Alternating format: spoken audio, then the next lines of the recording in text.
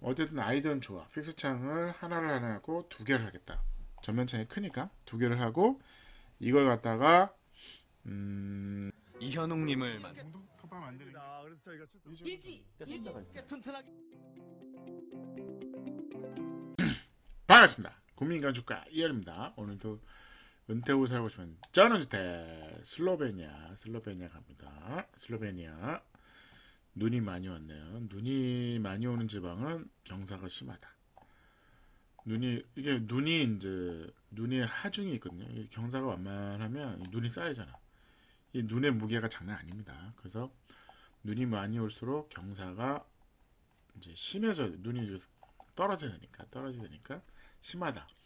그러면 이제 예를 들어서 이런 거잖아요. 눈이 이렇게 있으면 물바지가 있다. 물바지는 안 한다. 눈이 눈이 이게 물바지가 다 찢어집니다. 그래서 추운 지방일수록 물바지는 안 하는 경향이 있죠. 아니면 이제 예를 들어서 물바지는 하는데 스타퍼를 하죠. 스타퍼. 꼬챙이 같은 거 이렇게 꽂아가지고 눈이 걸리는 거죠. 걸려서 햇볕에서 녹아서 이제 내려가는 방식으로 많이 합니다.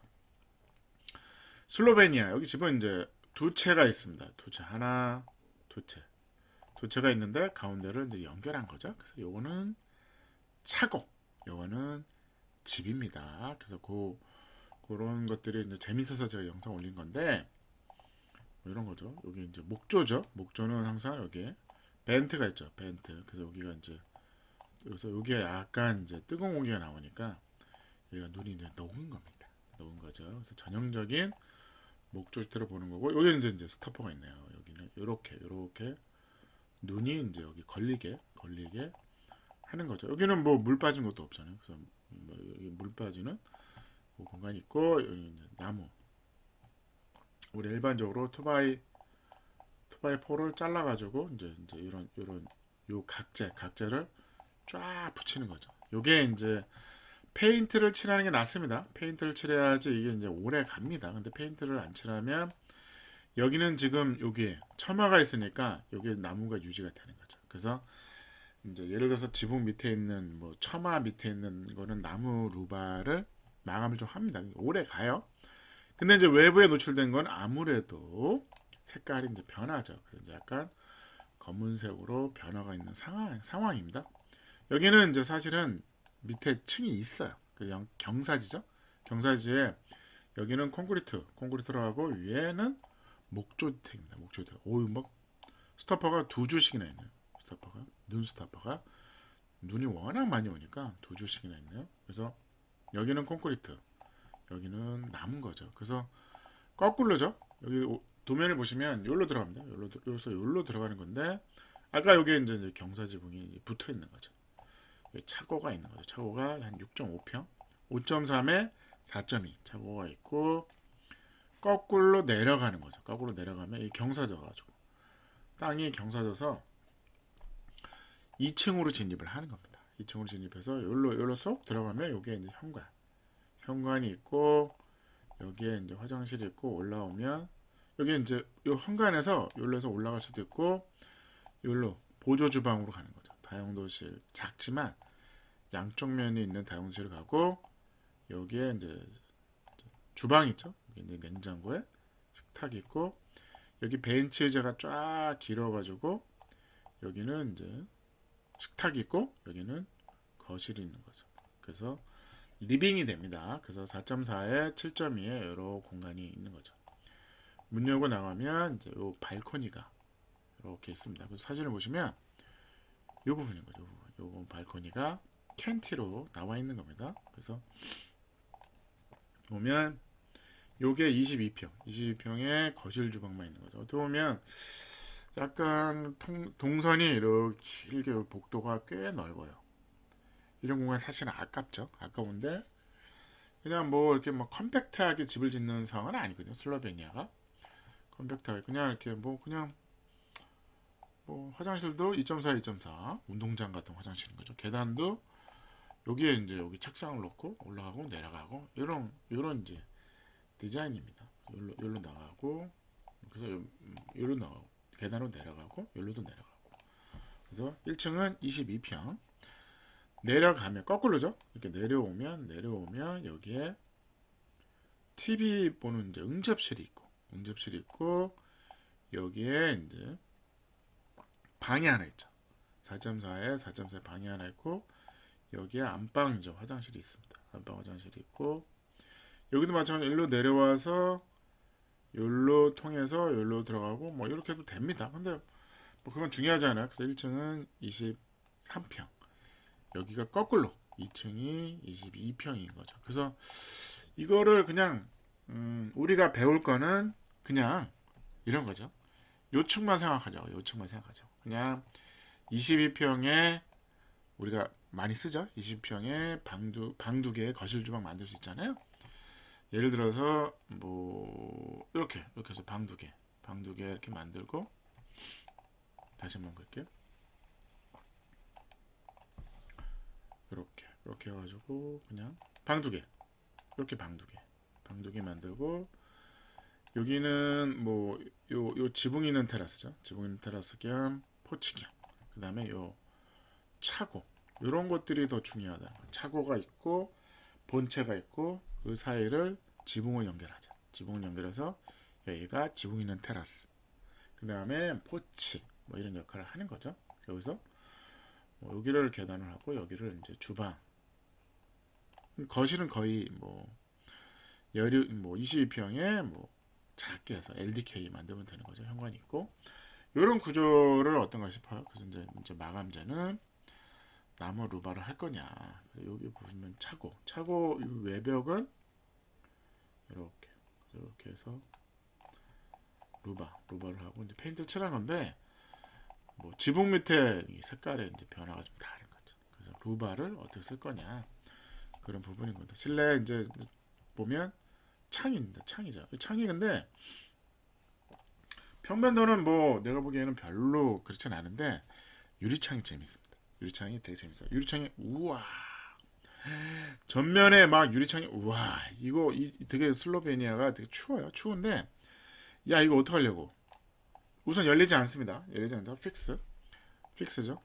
고정이죠. 고정. 그러니까 열 효율은 열리는 창에서 불리하잖아. 열리지 않는다. 엄청나게 큰 창에 이 창이 재밌는 게 이중입니다. 이중. 잘 보세요. 잘 보세요. 이중이 안 보입니까? 모르겠는데 소장님? 이중입니다.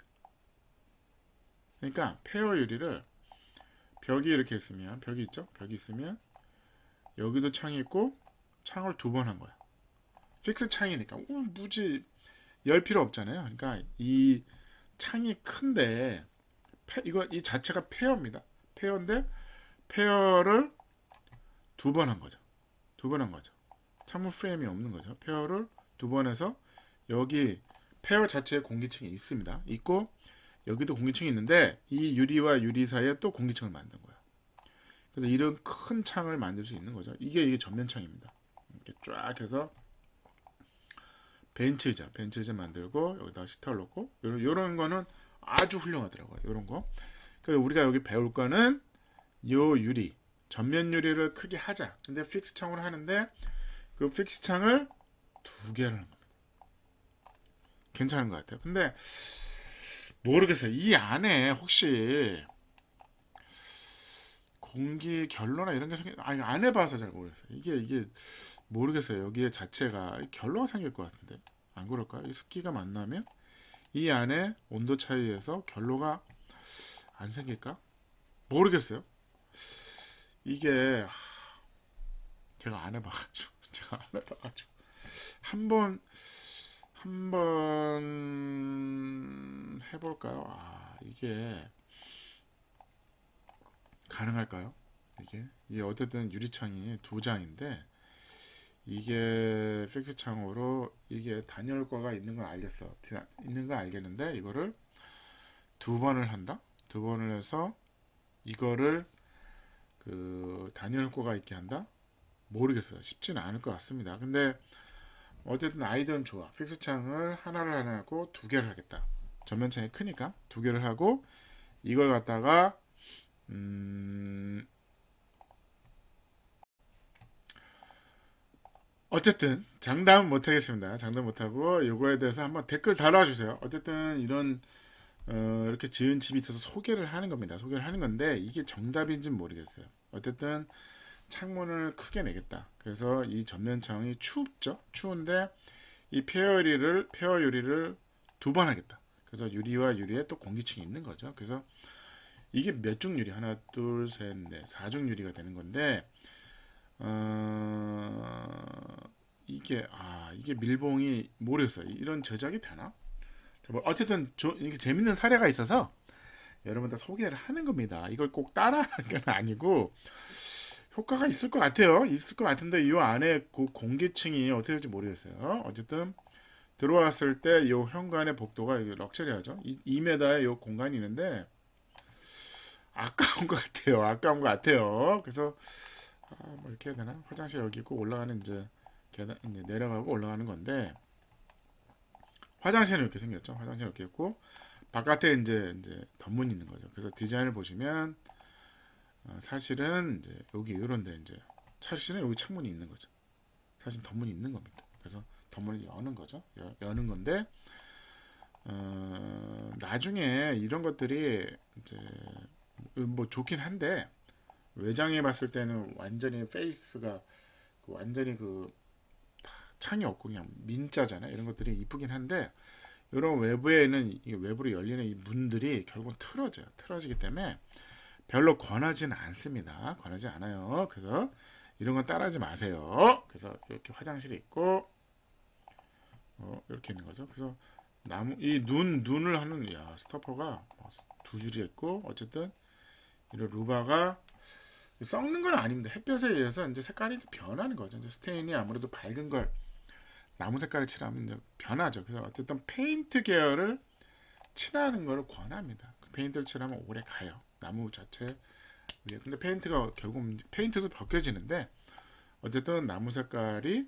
변하진 않으니까 또 칠하면 되니까. 그래서 오늘의 슬로베니아 디자인 1.5 그래서 요, 오늘 배울 거는 본채와 주차장의 요, 요, 요런 지붕 요런 건 아주 중요한 거죠. 그래서 어떻게 보면 본채가 20평이다. 그리고 요런 요런 부대 공간이 붙여 있는 별채 이런 것들이 은퇴 후 살고 있는 전원주택의 아주 중요한 부분이다.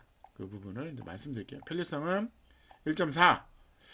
이 집은 뭐 지하 뭐 이렇게 근데 그거 편리하지 않아요. 그냥 조금 이렇게 하는 걸로 경사진 면을 갖다가 경사지를 어떻게 활용할까에 대한 얘기는 있는데 우리가 뭐 참고할 내용은 아닙니다. 그 다음에 가성비는 1.4 그래서 1층은 예를 들어서 1층은 콘크리트로 하고 2층은 목조로 해도 됩니다.